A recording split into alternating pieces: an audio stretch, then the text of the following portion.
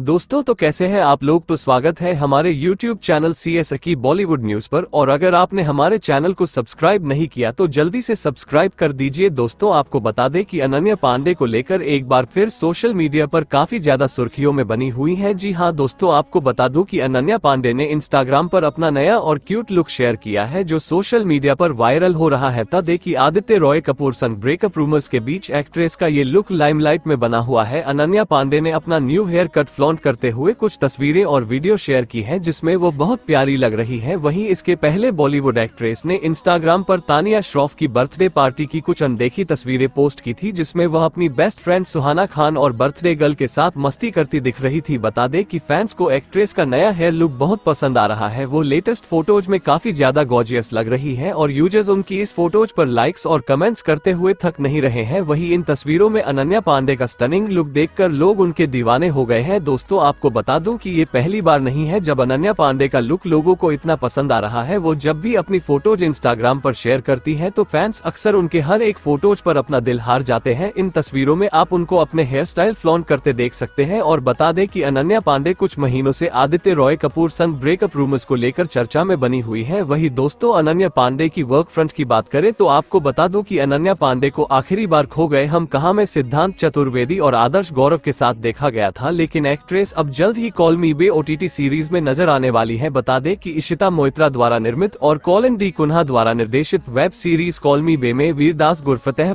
जादा विहान समत वरुण सूद मुस्कान Jafri Lisa Mishra Niharika Lyra Dutt और मिनी माथुर भी दिखाई देने वाले हैं